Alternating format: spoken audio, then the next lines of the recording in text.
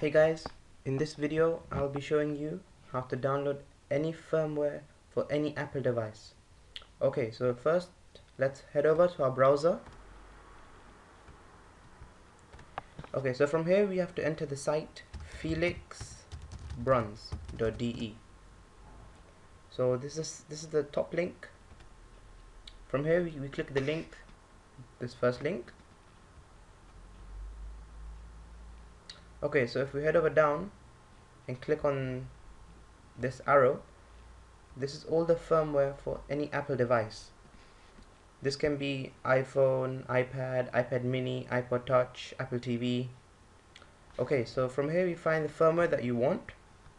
For example I'll use iPhone 5 6.1 firmware. After that just click download and the download should start over here. For me it's downloading on a desktop as you can see over here and there you go. Once it's done you can use that to restore your device. So thanks for watching. Please rate comment and subscribe.